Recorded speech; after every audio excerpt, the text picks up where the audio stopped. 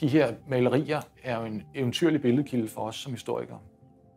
Alene af den grund, at vi ikke har noget alternativ øh, billedkilde. Der er jo ikke nogen fotografier. Øh, fotografiet begynder at dukke op i 1864. Øh, men der er ingen, der står og fotograferer i kampens hede. Der er billederne altid taget efter kamphandlingen.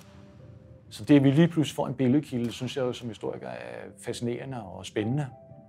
Og vi er jo ikke blinde for, at de er konstrueret. Men når man sidder og kigger øh, de detaljer igennem, vi kan, så kan vi kun bekræfte dem og sige, at det var de uniformer, det var på, og det var de våben, de rendte med rundt med hænderne, og det var de kanoner, der står ude i baggrunden. De fleste af dem kommer øh, ordentligt tæt på min forestilling om, hvordan det er foregået.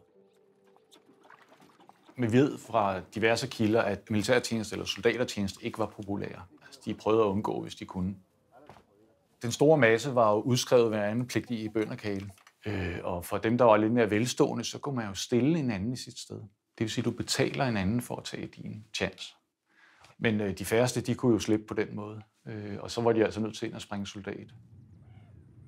Der var ikke sådan øh, radikale eller republikanske synspunkter på det her tidspunkt, øh, hvor man så synes, at øh, jamen, det, var, øh, det var kongens krig, det her. Det er ikke min krig.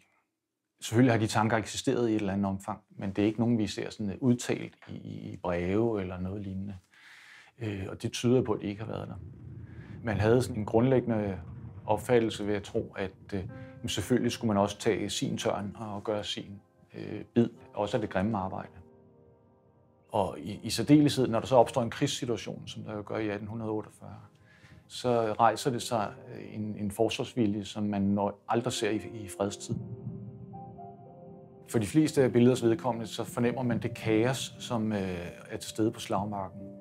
Det er klart, når man langsomt begynder at nærme sig fjenden, så foregår det i sluttede rækker geled, og det er meget, meget velordnet, og alle ved, hvad de skal gøre.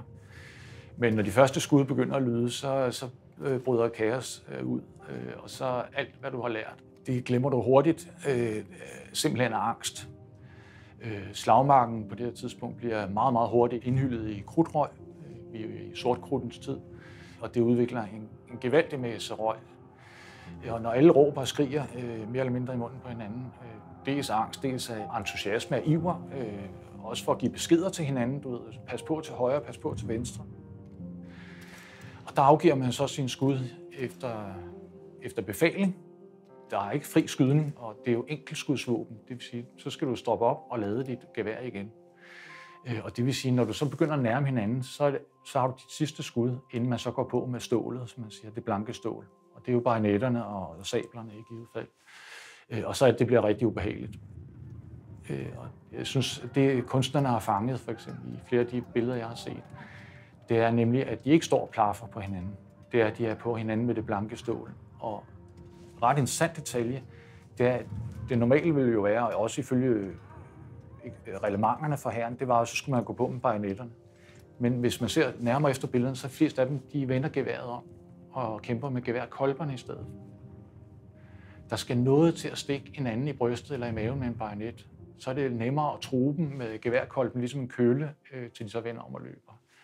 Helt elementært, der er jo ingen, der er lystmorder her. Altså, de er jo, de er jo i et eller andet omfang tvunget ud i en situation øh, af omstændighederne, kan man sige. Og alle vil gerne derfra med livet i behold. Så derfor, når de endelig går løs på hinanden, så øh, prøver de at undgå at stikke hinanden ned og slå hinanden ihjel, hvis de kan. Altså, det viser al erfaring.